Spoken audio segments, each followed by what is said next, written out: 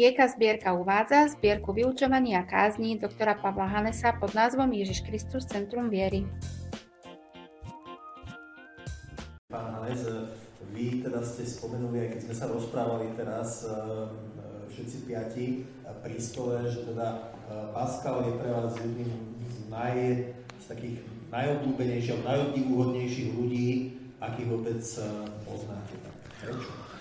Ďakujem za slovo. Pascal ma fascinuje, učím aj apologetiku a Pascal práve tým, že je filozof, matematik, fyzik, teológ a ja by som chcel jednu vec zdôrazniť, bol to extrémne trpiaci človek.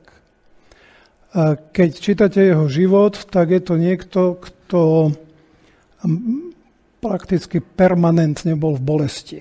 Dosť od mladosti. Dožil sa 39 rokov a e, keď sa ho pýtali na tú bolesť, tak e, e, nikdy nehovoril proti Bohu. Čo moderný človek v momente, keď hovoríte o utrpení, tak ako to pán Boh. Hej? Hovoril, to je prirodzený stav človeka trpieť tak e, ja by som nerad e, z Paskala urobil nejakú ikonu bezchybnú, lebo e, aj v oblasti tých vedecko-matematických hádok sú nejaké kritiky na ňo na Toričaliho niečo napísal údajne, ja ne, sa v týchto dejinách vedy nevyznám, ale e, preto e, mi veľmi záležalo na tom, aby sme hovorili o Paskalovi, lebo myslím si, že Paskal je Boží dar pre ľudstvo. Paskal do dnešnej doby nám hovorí, uh, viera, náboženstvo je extrémne závažná vec a musíme ju zobrať veľmi vážne. Moderný človek sa rád zabáva. Aj to anglické entertainment. Proste ne, ne, nedokážeme sa sústrediť na e, veci dlhšie a neustále potrebujeme niekde zvonku e, vplyv alebo nejaké e, rozptýlenie. A Pascal, teda ako vedec, prežil hlboké obrátenie, dá sa povedať dvakrát. Prvýkrát, keď jeho otec veľmi chorel, padol a, venovali sa mu práve tí jansenisti, preto je tu jansenizmus veľmi dôležitý, lebo dá sa povedať, že to je rigorózna viera. Chceme v katolíckej cirkvi rigorózny prístup k, k sviatostiam, k morálnemu životu, k prežívaniu, hlbokému prežívaniu. Ten Arnold bol síce, napísal aj logiku, aj gramatiku, inak ten, ten Port Royal bol aj strediskom nejakej učenosti. A mm, Pascal e, sa tomuto venoval, týmto vedeckým otázkam, ale keď videl, ako tí jansenisti, ktorí pomáhali otcovi, prežívajú duchovný život, tak e, to bolo to, čo sa nazýva prvé obrátenie. No a potom prežil ten, ten 23. novembra, on si to zapísal, zašil si to do, do kabáta, do počívky a potom, keď zmenil kabát, tak si to dal inde a to ten, memoriál, už ste tu o ňom počuli. A ja si myslím, že ten, ten memoriál je niečo, čo nás upozorňuje na to, čo Boh môže človeku dať. Nemyslím si, že možno, že tu niekto prežil nejakú veľkú vec eh, s Bohom. Ja osobne som takúto skúsenosť nemal, ale je to úžasné, keď viem, že niekto takú skúsenosť mal.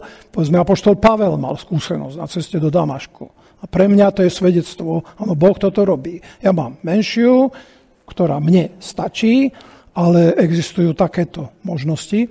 A Pascal 23. Eh, novembra, on si to tam napísal, eh, rok milosti 1654, pondelok 23. novembra a teraz sa píše, že oheň, hej, tak sa to aj volá, že deň ohňa. No, Freud by možno povedal, že e, mal nejakú e, psychoanalytickú udalosť. A Bertrand Russell povedal, že to bola filozofická samovražda. E, Nietzsche na to povedal, že to je ďalšia obeď kresťanstva.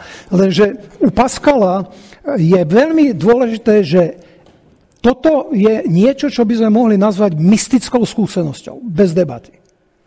Ale jeho myšlienky, tých, ktoré tu už boli spomínané, nemajú s mystikou prakticky nič spoločné. To je tak kritické dielo, Samozrejme, že to sú fragmenty. On po- počítal s tým, že z toho bude veľké dielo na obranu kresťanstva, no ale zomrel 39-ročný, takže žiaľ, a možno, že dobre, že to nedokončil, lebo sú tam myšlienky, ktoré si môžete vybrať. Proste niektorí tvrdia, Pascal to je racionalista, pokračovateľ Descartes. No, Pascal sám o Descartovi napísal, nemôžem odpustiť Descartovi, o svojej filozofii sa celkom dobre zbavil Boha. Hej. Tak diskutoval s Descartom, sa s ním stretol, ale nesúhlasil s ním. Zároveň ale používal postupy, ktoré sú karteziánske. Hej. Takže niekto povie, že to je kartezián, Descartov nasledovanie, on sám tvrdil, že nie. No tak čo si vyberieme? Niektorí tvrdia, že to je skeptik, iní, že to je fideista.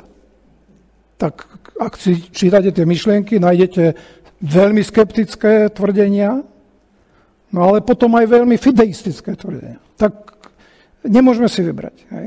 A ja si myslím, že je veľmi nebezpečné urobiť z Pascala nejakého človeka na svoj obraz. A ja by som to nechcel, ale pretože tvrdím, a myslím si, a ja to tak prežívam, že Boh nám ho daroval, tak sme chceli ho pripomenúť, že teda čakajme od Boha niečo, čo môže nám dať ako Paskalovi nechcem povedať, že zažijeme presne takú noc, hej, na, ako on v novembri 1654, no ale on si tam hodinu napísal veľmi kriticky presne, teda ne, nebola to žal, žalúdočná nejaká neprístojnosť a e, žil s tým, dá sa povedať, ďalších e, niekoľko rokov do konca života.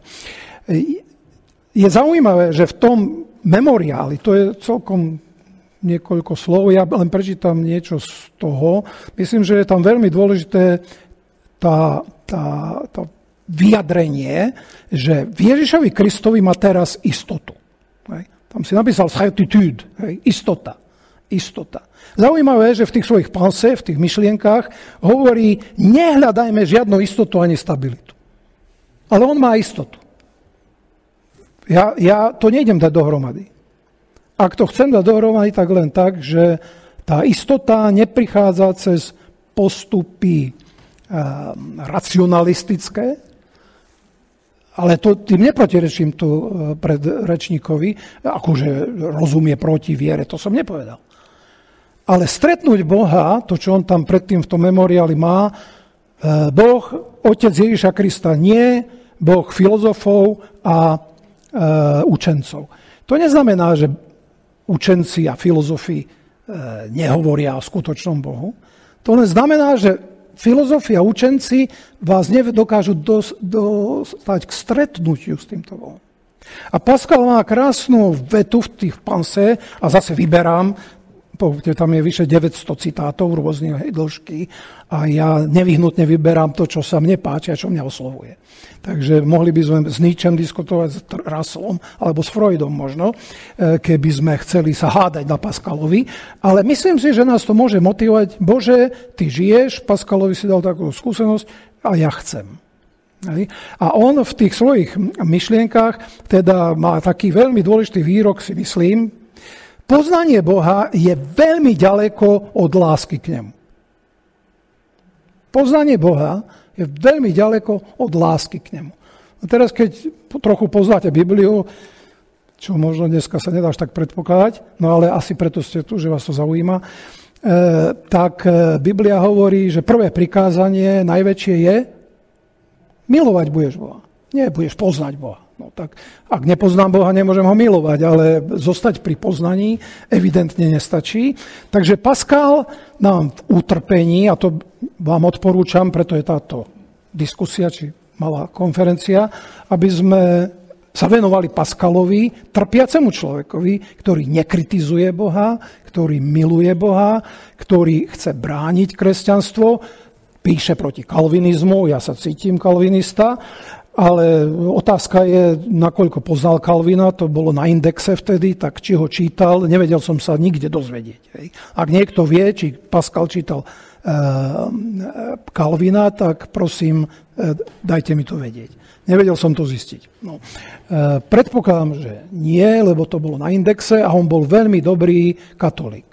No, Pascal bol veľmi dobrý katolík poslušný s tým, že tvrdil, že odsúdenie jansenizmu, čo áno, niektorí pápeži ho odsúdili, je odsúdením Augustina. No, a Augustinus je cirkevný otec, ktorý teda je uznávaný. Takže tam zostala otázka a myslím, že v rámci katolíckej cirkvi dnes je o tom diskusia.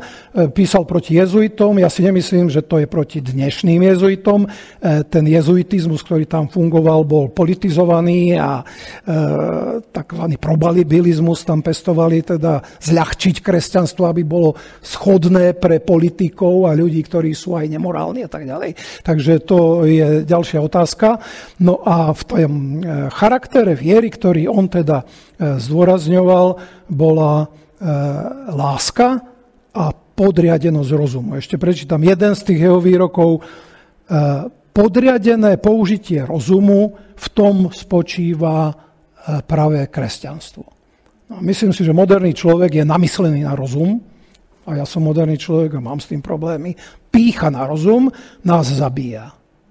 Pascal bol génius, 12-ročný si odvodil euklidové e, pravidla, lebo otec mu to nechcel dovoliť a vyrobil. No proste, viete, Pascal, o ňom sa dá hovoriť úžasné veci, no ale e, v rámci viery v Boha e, prišiel k tomu, že na rozum sa nedá natoľko spolahnúť, aby mi zjavil Boha. Potrebujem Ježiša Krista.